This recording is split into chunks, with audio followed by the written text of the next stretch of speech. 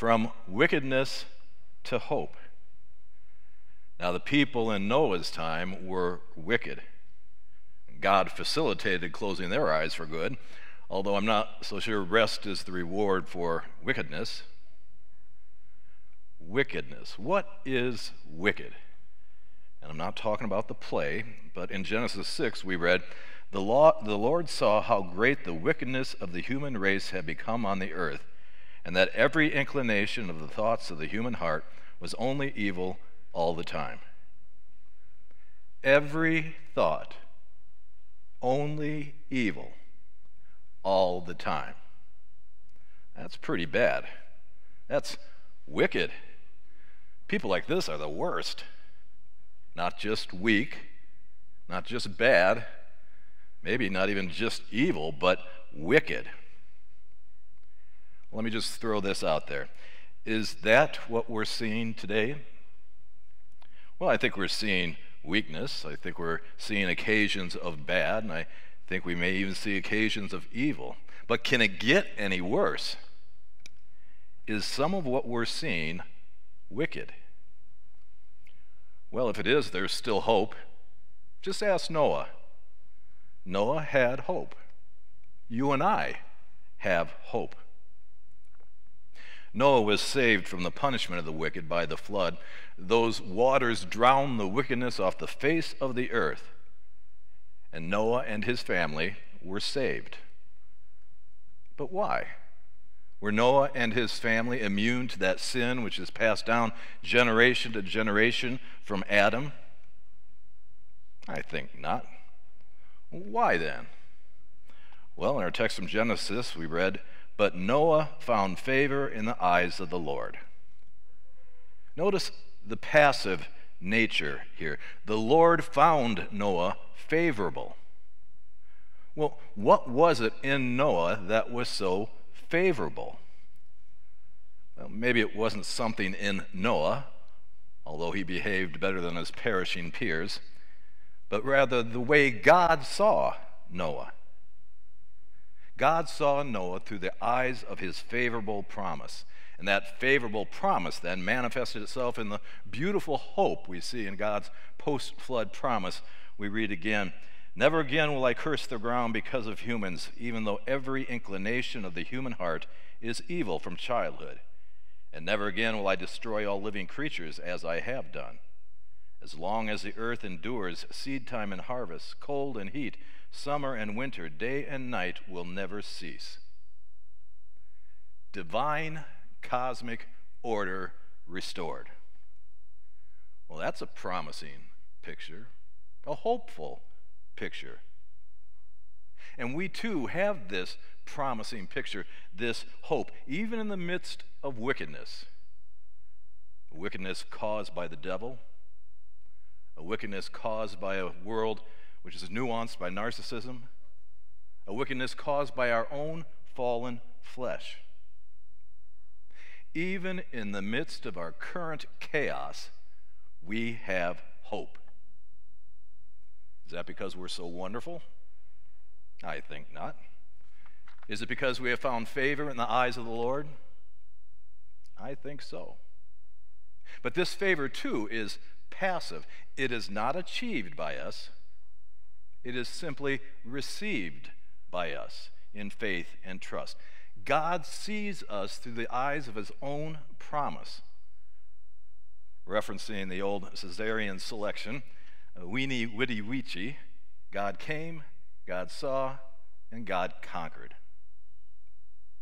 in our reading from Genesis, we saw that God saw the wickedness of the world, and He came with a mighty flood, and He conquered wickedness and provided hope for those who found favor in His eyes. Well, today, God sees wickedness in the world, and God came not with a flood, but in His Son, Jesus Christ. And in Christ, God conquered sins and provides hope for those who find favor in His eyes. Do you find favor in God's eyes? Well, before you assume the paralyzing posture of oops, rest assured that any favor you and I have in the eyes of the Lord rests upon His promise not our practice. In Latin, we call that favor Dei, the favor of God. And this favor is found solely in Jesus Christ, who sacrificed his body and his blood for the sins of the world. In baptism, God found us with his favor. He credited us with the benefits of Christ's sacrifice. In the Lord's Supper, we receive the benefits of Christ's sacrifice as we receive the body and the blood of our Lord.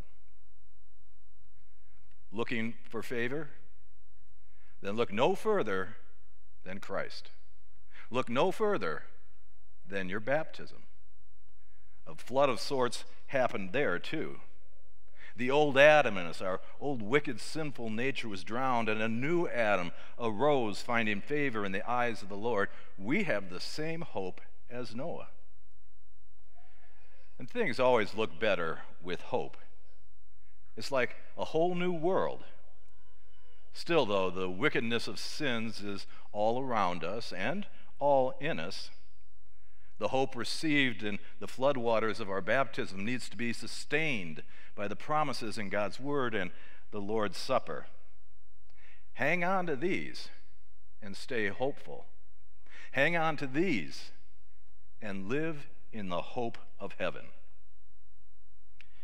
A recent lack of communication with my wife may illustrate this hope of heaven. Our niece just had her baby I know that now because Kathy shouted across the house that our niece was on maternity leave. Now, I must be getting old because what I heard is that our niece was on eternity leave.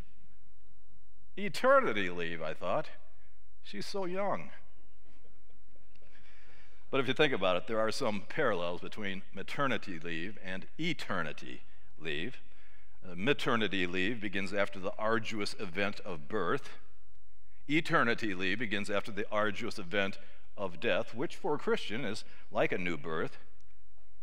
In maternity leave, you get to embrace the fruit of your labor. There's a whole lot of hope there. In eternity leave, you get to embrace the fruit of Christ's labor. Endless hope there. From wickedness to hope. There's a little wicked in all of us, kind of comes from our concupiscent condition. But the floodwaters of our baptism drowned that old wicked Adam in us, and a new person came forth. You know, perhaps in a sense, it's true that there ain't no rest for the wicked till we close our eyes for good. Oh, we've been rescued from the condemnation of our wickedness in the waters of holy baptism. We have that hope now. And when we close our eyes for good in death, then we really will enjoy rest, Sabbath rest, eternally characterized by the restful activity of glorifying God in the eternal presence of the author of our Sabbath rest, Jesus Christ. Hang on to that hope. We need it in times like these. We have it in times like these. Amen.